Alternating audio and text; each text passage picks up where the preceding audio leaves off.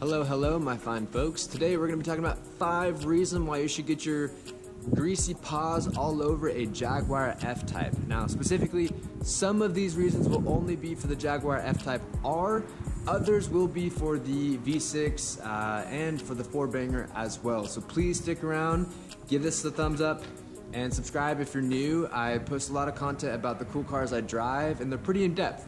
Hope you guys enjoy. Let's get started with reason number one. Reason number one, the way it sounds.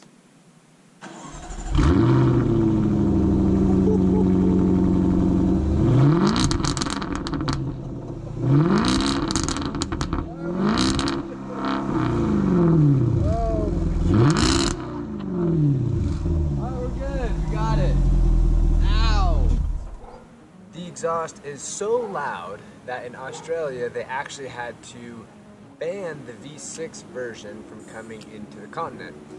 And on all the American cars, they had to do an update that actually limited the amount of crackles and pops coming out of the exhaust. Pretty wild. One thing I will mention is that I chose this car partly because of its sound. If you guys go look up um, any automobile magazine, Motor Trend, Car and Driver, any list that has the top 10 V8 sounds, this car will be on it. Alright, reason number two, this one should be a little bit more obvious. It's the way it looks. This car is a 10 out of 10 for me. It has all of the classic elements of a beautiful sports car. And I think a lot of that comes down to who designed it, which is partially why I think it's so beautiful. The designer of this car is Ian Callum who, oh, I don't know, if you haven't heard of him, is one of the best designers of all time. Let me name a couple of his other cars. Uh, Ford RS200.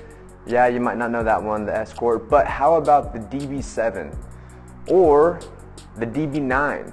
Two cars that literally shaped a lot of today's modern Aston looks, Aston Martin looks.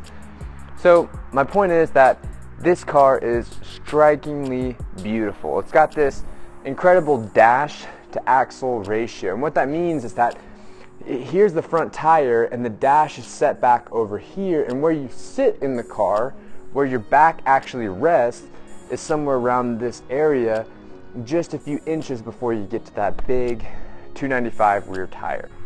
The way that the silhouette comes down over the rear, how it kind of has this pinched end at the top where it comes back down and back out. I mean, just beautiful. The way that the, the exhaust canter kind of come up, slightly tipped upward. It's a really, really pretty design. And a lot of cars, you know, it's tough to fabricate, but the lights, the rear tail lights, they come all the way around so they can be seen from the profile of the car and from the rear. So, uh, with, with good reason here, I think number two ought to be the way that this thing looks. Guys, number three on the list is the powertrain. This is a supercharged V8 5 liter from Jaguar Land Rover. It makes 550 horsepower and 502 foot-pounds of torque. Now, the reason why it makes number three on this list is because, as to my knowledge, this is the only production series, there's a lot of, you know, titles here, but production series, non-American supercharged V8 for sale right now. And that's important because a supercharger gives you all of the benefits of forced induction like turbos, but you also get that natural uh, linear throttle response that you get from a naturally aspirated car. So it's it's really the best of both worlds. And I think it just fits the personality, the persona of the way that this car looks very well. So there you have it. Number three, it is the powertrain. Look at this big old root supercharger. Enjoy. Okay, guys. Number four is the rarity, or rather, how unique the car is. Now, I'm going to use my phone so I don't botch some of these statistics here for you, but I live in Oklahoma. I said it in my other videos, and, and what I think is unique about Oklahoma, being kind of in the Bible Belt of the United States, is how many Mustangs and Corvettes I see on a daily. And I see a lot. So, being interested in this statistic, I looked up how many Corvettes were sold from 2014 to 2019. And then I also looked up how many Jaguar F-Types were sold from 2014 to 2019. Here are the numbers. Okay, there have been 153,000 Corvettes sold from 14 to 19. In that same years, there have been just 22,000 Jaguar F-Types. Now, if you break that down, for every one Jaguar F-Type, whether it's a V4, V6, V8, doesn't matter, for every one of them, you will see seven Corvettes. That's pretty unique, isn't it? That's partly why I love this car. I mean, it shares a lot in common with this Corvette, but it's very, it's, it's way, way, way more unique. And, in my opinion, a little more sexy. Okay, for you number junkies out there, I want to make one more add-on. I have a 2015 Jaguar F-Type R. Now, what's unique about my car is that in 2015, they only had rear-wheel drive. That's important because from 2016 and on, every Jaguar F-Type R, SVR, whatever, they were all all-wheel drive. So I was a little bit interested because now I know that whether you have a V6, V8, or a 2 liter four banger, I know that there's only 22,000 total in that five, six year span. So I'm curious how many F types R's with rear wheel drive came to the United States. I looked it up and it's interesting. There are less than a thousand in the United States. Less than a thousand Jaguar F Type R. So it's really pretty rare. And there's not an exact number, but a lot of forum members on the Jaguar forums seem to believe that there's less than 800.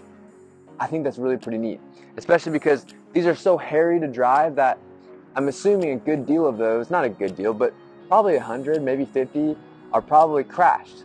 So down the road, I'm not talking now, but I'm saying maybe 20 years from now, this might be a sought after car. Mark my words. Okay, reason number five, this car is a bargain. Now, specifically, I'm referring to the cars on the second-hand market, the used market. If you do buy the car new, it's going to depreciate characteristic like of any 100,000 plus sports coupe. It'll lose about 30, uh, maybe even 40% within three to four years, and that's characteristic like of the market. So that's okay, we can forgive it. Now, on the used market, however, it is a complete bargain. Think about this car. Let's talk about the 2015 Jaguar F-Type R. This you can find all day long for 45 to 50 grand, very low miles, and the cars that it competes against are the AMG GT, GTS, the 911 GT, GT, I mean 911 GTS or the Carrera S. Those are serious performance cars that haven't dipped below, you know, 80 grand um, for, for the newer models like this. However, you can pick this up for 45 grand and it's got all the thrill, all the drama. That's a bargain complete bargain. Now let's talk about the V6, okay? The V6, it's very powerful, up to 400 horsepower. It sounds incredible for a V6. And if you think about the cars that it tries to compete against, we're looking at like a BMW Z4 or a Supra, or we're looking at, you know, um, I, I, guess you could say Cayman, um, SLK.